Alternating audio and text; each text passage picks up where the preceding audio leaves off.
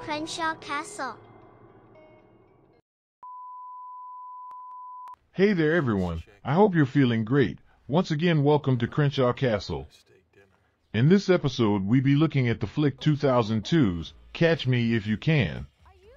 We start out in 1963. Frank William Abagnale Jr. live in New Rochelle, New York with his dad Frank Abagnale Sr. and his French mom's Paula. Because of Frank Sr. tax problems with the Internal Revenue Service, the family be forced to move from their large home to a small house. When he parent divorce, Frank run away. He impersonate a Pan Am pilot and make the airline payroll checks. News of crime reached the Federal Bureau of Investigation and worker Carl Hanratty start tracking Frank. He escaped before Carl realized that he was fooled. As Dr. Frank Connors, he falls in love with Brenda, a naive young hospital worker. Carl tracks Frank to E and Brenda engagement party, but Frank escaped through a bedroom window.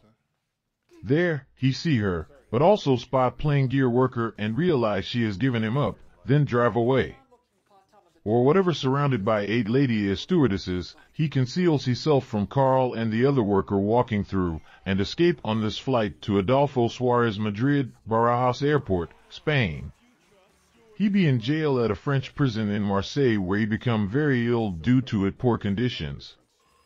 As they make the approach, he informs him that he dad has died.